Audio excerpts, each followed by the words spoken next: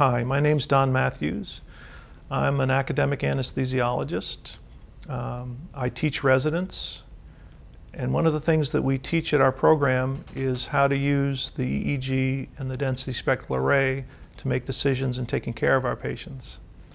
Specifically, we have a TIVA training rotation where we use the principles of EEG and density spectral array to help learners understand how to make adjustments in propofol infusion to take, uh, take care of people.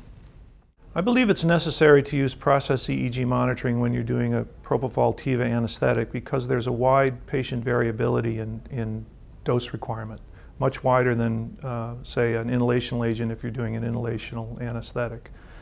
And so using the processed EEG variable allows you to more specifically understand who's in front of you and what their requirements are.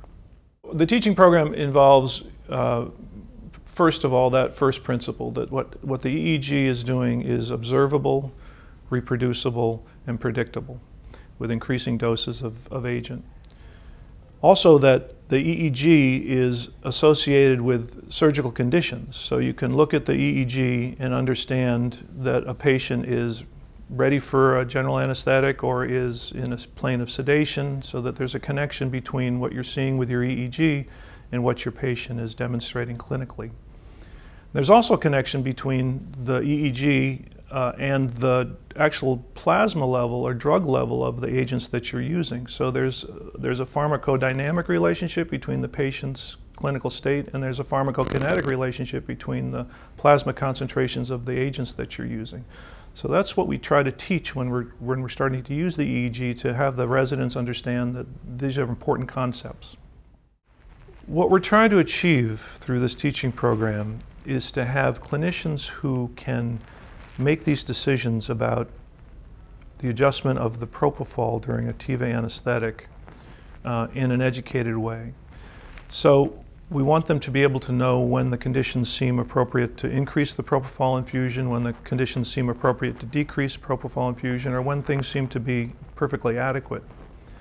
We also want them to understand that they're not using propofol uh, usually by itself. It's usually being combined with other agents usually anti-nociceptive agents such as opioids to create an anesthetic state. So the, the learning has to go beyond just this single agent propofol and how to use the monitoring to make decisions about propofol and the other things that you're using in the, in the, during the surgery.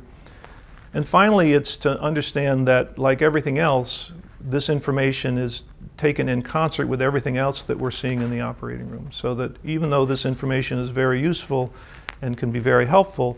In and of itself, it's not enough to understand what's happening to your patient. You need your other monitors, you need to understand what agents you're giving and how much you're giving to put everything in context to make the right decisions for your patients.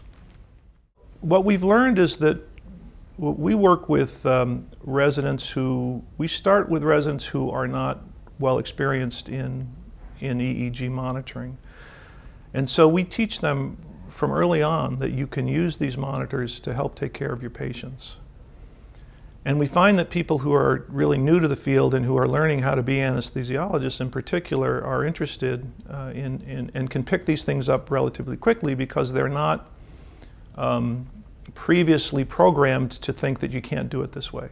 So you find that experienced learners can certainly learn these principles too, but it's a little harder to get them to just to accept that the EEG can be used in this way.